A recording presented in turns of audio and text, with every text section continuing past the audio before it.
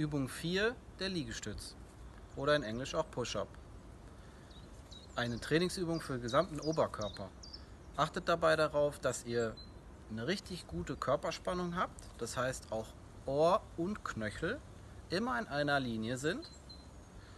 Achtet dabei darauf, dass die Hände ein bisschen breiter als schulterbreit aufsetzen und die Füße in etwa hüftbreit aufsetzen. Schaut es euch an.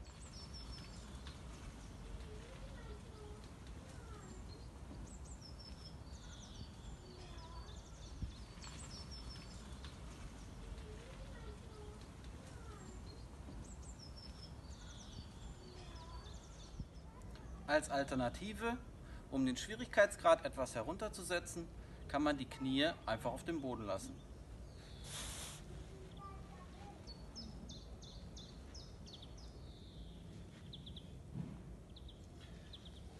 Ich gebe euch einen Tipp.